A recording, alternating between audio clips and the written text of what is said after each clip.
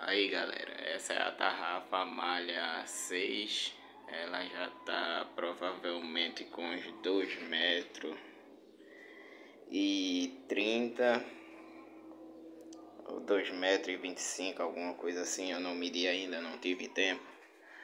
Mas esse é o vídeo que eu fiz ao pedido do meu amigo Ricardo Para dar uma força ao canal dele. Ele quer divulgar tarrafas. E tá com o canal de pesca Aqui, a malha 6. A turma diz que é uma malha muito grande, mas não é tão grande assim essa malha.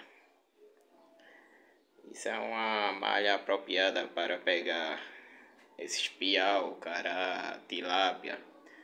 É muito mais fácil de limpar. Porém, é uma tarrafa pouco procurada por aqui.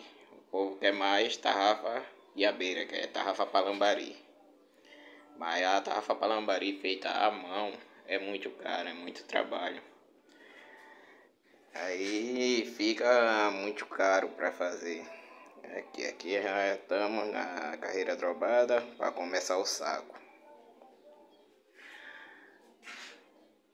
Aí eu tive um probleminha de saúde esses dias, provavelmente vai atrasar um pouco, mas eu tô fazendo devagarinho, tô na correria, devagarinho, mas tô. Importante é a pessoa não parar, né? Então, quem gostou aí, deixa o like. Se inscreve no canal aí pra dar uma força ao nosso amigo aí.